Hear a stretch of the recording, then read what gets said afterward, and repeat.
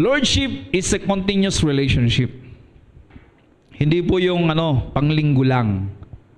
It is a continuous relationship. Yung bang kahit ikaw ay naglalakad sa kalye, nasaan ka nagdadrive, naglalaba, nasa bukid, nag-aararo, nagtatanim, nag-aani, ano? Ikaw ay nag-aaral, nagko-computer, ano man yung ginagawa mo, ay laging nakatuon ang puso't isipan mo doon sa iyong Panginoon. You're always tuning in. Kumakain ka, kahit naliligo. Minsan nga, kahit ako'y maliligo, magbubuhos ako, may mga word ni Lord. May mga word ni Lord na naririnig ko. Pumapasok po sa isipan ko. Sabi ko, grabe. Matindi. You can do meditation not just when you are inside the church. No? Dapat nakatune in ka palagi sa Panginoon. Kaya nga, Christian must have that open heart tuning into the Lord. So making Jesus our Lord is not just a one-time experience. We are now in a relationship with God and we need to nurture this connection by knowing Him more through His Word and following His ways every day. The more we know Him, the more we will obey Him.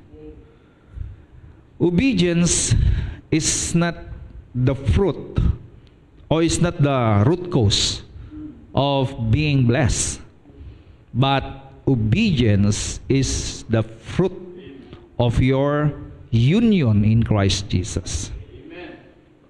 The more you know the Lord, the more you understand what He did for you, the more you know Him personally and you are attached with Him, sa lalim ng pagkakilala mo sa Kanya, ganun din ang bunga ng iyong pagsunod. Kung bakit walang pagsunod dahil wala pong ugnayan.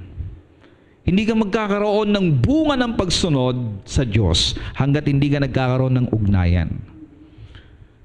Eh, yung ibang, ano, ako, po nagtuturo ako dati, dapat sumunod ka muna bago ka pagpala. Hindi, pinagpala ka ng Diyos at dahil diyan, sumusunod ka. Ang taong hindi nasunod, ay taong hindi nakaka-intindi ng ginawa ng Diyos sa kanya. Yung ano, yung sinasabi nating matigas ang ulo, eh lahat naman talaga matigas ang ulo kapag uh, hindi ka nakaugnay sa Panginoon. Eh paano lalambot ang ulo mo sa mga bagay na spiritual kung hindi mo naman wala ka namang ugnayan sa Diyos. Amen. So, nurture this connection by knowing Him more through His Word. Praise God. Hallelujah. That is the purpose of God in our lives. How often you think of that Lordship of Jesus Christ in your life? Inaawit nyo ba yung You are my Lord, You are my King? Di ba? Minemeditate nyo ba sa puso ninyo that Jesus, being Lord of your life, ay nasasabi mo bang, Lord, dahil ikaw nagmamayari sa akin, here I am, use me. Here I am, Lord, let me live according to your perfect will. And of course, the perfect will of God is that you are in Christ Jesus. And now that you are in Him, you are in the perfect will of God.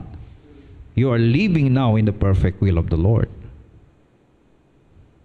Young people, leaders, and all the viewers, all listening, everybody who are listening to us, to EIG, I want you to know na yung Savior mo, ang siyang nagmamayari sa iyo. At dahil dito, if you're gonna put your trust in Him, He will lead you into a direct path. You know, into a spot of a green pasture.